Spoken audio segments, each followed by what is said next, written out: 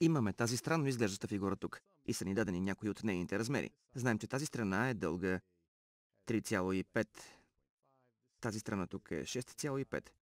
Знаем също, че от тук до тук е 2, а от тук до тук е 7. Дадено ни е и че този размер тук е 3,5. Като имаме това предвид, нека видим дали можем да намерим лицето на цялата фигура. Препоръчвам ти да спреш видеото и да се опиташ самостоятелно. Приемам, че го направи. Тук може да има няколко неща, които ти хрумват веднага. Първото нещо е, че имаме тези два триъгълника тук горе. Дадени са ни всички тези размери или поне тяхната основа и височина, което е достатъчно да намерим лицето. А ако имах триъгълник, ако имах правоъгълник, който е 2 единици широк и 3,5 единици висок, знаем, че той ще има лице 2 по 3,5. Един триъгълник просто ще бъде, особено като този правоъгълен триъгълник, ще бъде половината на правоъгълник като този.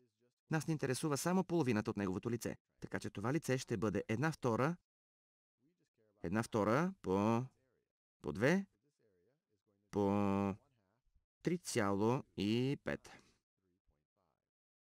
Една втора по 2 е равно на 1.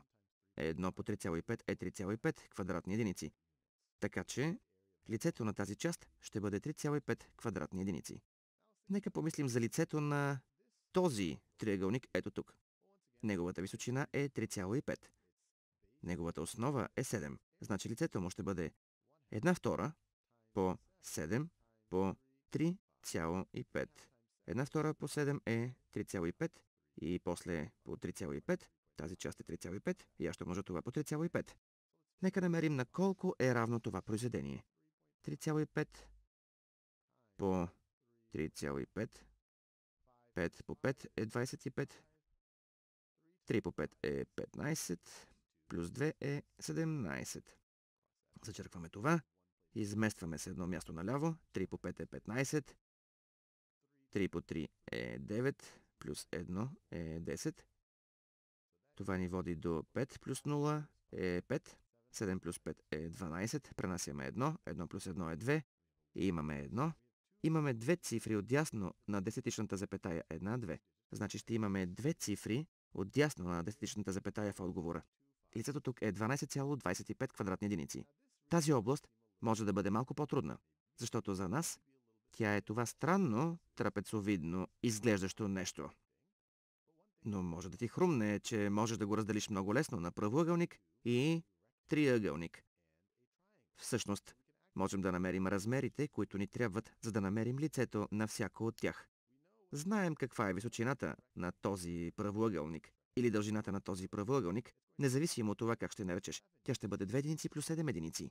Това ще бъде 9. Знаем, че това разстояние е 3,5. Ако това разстояние ето тук е 3,5, тогава това разстояние тук долу трябва да съберем 3,5 да даде 6,5. Така че това ще бъде 3. Сега можем всъщност да намерим лицето.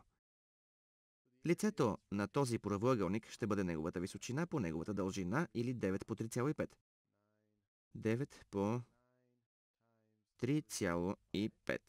И един начин, по който можеш да го направиш, можем дори да опитаме да направим това на ум, ще бъде 9 по 3 плюс 9 по 0,5. 9 по 3 е 27, 9 по 0,5, това е половината от 9, т.е. 4,5. 27 плюс 4 ни дават 31. Това ще бъде равно на 31,5. Може да го умножиш ето така, ако искаш. Но лицето на тази фигура е 31,5.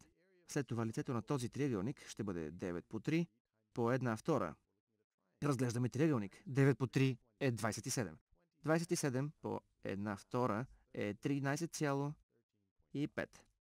Така че за да намерим лицето на цялото нещо, просто трябва да съберем тези лица. Имаме 31,5 плюс 13,5 плюс 12,25 плюс 3,5. Така че имаме само 5 в стотиците. Това е единственото. 5 плюс 5 е 10, плюс 7 е 17. 1 плюс 1 е 2, плюс 3 е 5, плюс 2 е 7, плюс 3 е 10. 1 плюс 3 е 4, плюс 1 е 5, плюс 1 е 6. Така че получаваме общото лице на тази фигура. 60,75 квадратни единици.